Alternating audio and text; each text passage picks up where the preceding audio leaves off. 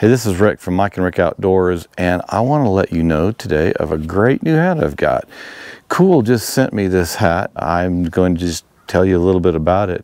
KUHL has provided Mike and I with some fishing pants, or I would say hiking pants, but uh, they have all kinds of pants, 30, 40 different kinds. But they've also sent us a different fishing hat that was more of a broad rimmed hat. And I have a video of that also, a review of it, and I'll have that in the description below. But this hat here is one I was really wanting. I, I asked, I called them back up and said, hey, can you send me this hat? Because I like it and uh, I'll put it in, I'll have, wear it in a lot of videos.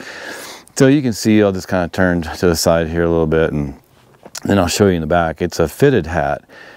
So there's there's a couple different sizes. All this information will be on the screen and in the description below. But I'll just tell you, this hat is very comfortable. I, I like the hats that have a curve to them, and and this one does. They have they have a lot of hats. I want to say they have at least 20 or so hats. I'll have some of these up on the screen here and I'll, just say this is a very comfortable hat. The inside the the band inside is very comfortable. I just bought another hat this week similar to this one, but it wasn't very comfortable. And even right here on the uh, inside, uh, on the band inside, it was a little bit scratchy. Uh, but this one here, very comfortable hat.